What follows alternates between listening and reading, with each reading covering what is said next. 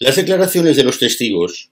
el proceso de instrucción del caso Begoña Gómez empieza a revelar detalles escabrosos, incluso rayando en lo cutre si tenemos en cuenta todo lo que rodea una cátedra forzada en la Complutense sin que al frente hubiera una persona con la mínima titulación exigida y hubiera que buscar un codirector para cubrir esa chapuza. Pero este martes hemos conocido un aspecto realmente escabroso que recoge en su portada el portal Moncloa, la lucha de la investigada por 15.000 euros, algo que parece absolutamente fuera de lugar con todas las circunstancias que rodean a este caso.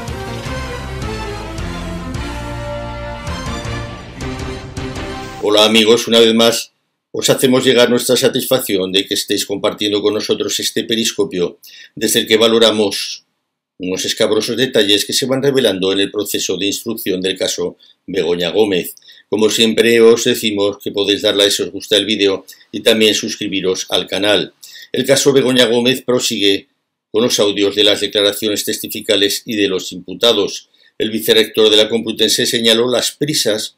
por crear la cátedra a la mujer del presidente del gobierno y una cuantiosa nómina por dirigir esa misma cátedra. Desvela el portal Moncloa este martes. Según ese medio, una de las testificales más esperadas ha sido la de Juan Carlos Doadrio, ex vicerrector de la Complutense, sobre la contratación de Begoña Gómez como directora de la cátedra extraordinaria sobre transformación social competitiva por parte del rector de la Universidad Complutense Joaquín Goya Chegoni,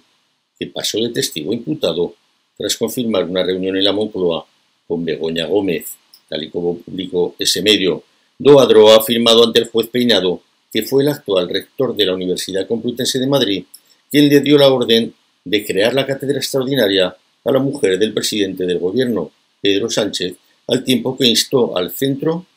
una nómina del doble del máximo permitido por la institución, es decir, un sueldo de 30.000 euros frente a los 15.000 euros estipulados como máximo que se paga por su labor como directora del máster. Finalmente, Begoña Gómez tuvo una asignación de 15.000 euros más otros 5.000 euros de asignación para los estudios del máster. No obstante, se trata de una anomalía dentro de la cátedra extraordinaria debido a que no se asigna nómina alguna a la dirección de las mismas, concluye ese medio.